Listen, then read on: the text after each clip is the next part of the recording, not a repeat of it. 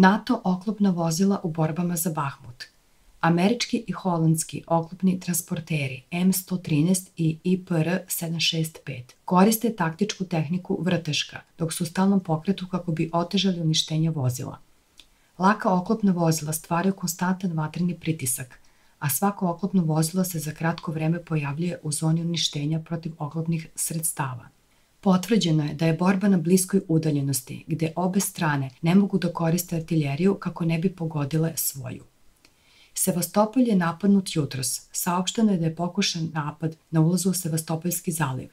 Crnomorska flota je odbila napad pomorskih dronova u Sevastopolju, rekao je guverner grada. Nema oštećenja na ratnim brodovima, među stanovništvom nema povređenih.